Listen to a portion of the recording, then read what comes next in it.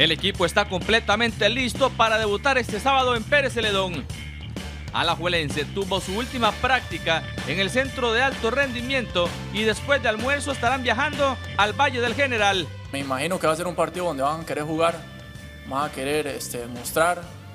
Entonces siento que la, clave va a ser el, darle la fluidez al, juego para, para meterle muchísima intensidad y ahí podemos sacar muchísimo la diferencia. Los manudos suman un total de cuatro victorias, cinco derrotas y un empate en los últimos 10 enfrentamientos contra los del sur. Incluso en la última visita perdieron tres goles por uno.